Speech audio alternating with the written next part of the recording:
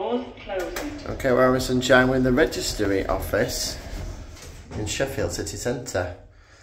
We were told that you needed a key card to do this lift, so we just went down along to show, but actually we've managed to get into this?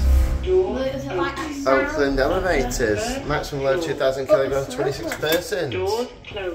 Installed in, don't know, it just says lift 9102. Doors opening. It's got dual doors, Floor. got first floor and, and upper. Doors Why is it working? Well, I don't know, but that man said we couldn't use them, so I don't think we should take the mic too much. I think. I see we will do it. I see we will one third floor and and and and let's not read it. That's a good idea. Right, come on then, lower ground then. closing. oh on oh oh. Okay. Wait, I do that.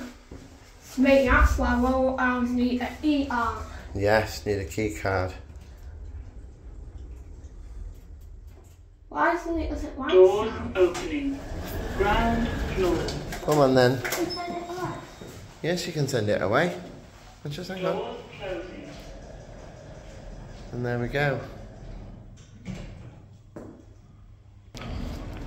So this is what we've just done here. Done the Sheffield District Register Office that shouldn't have worked.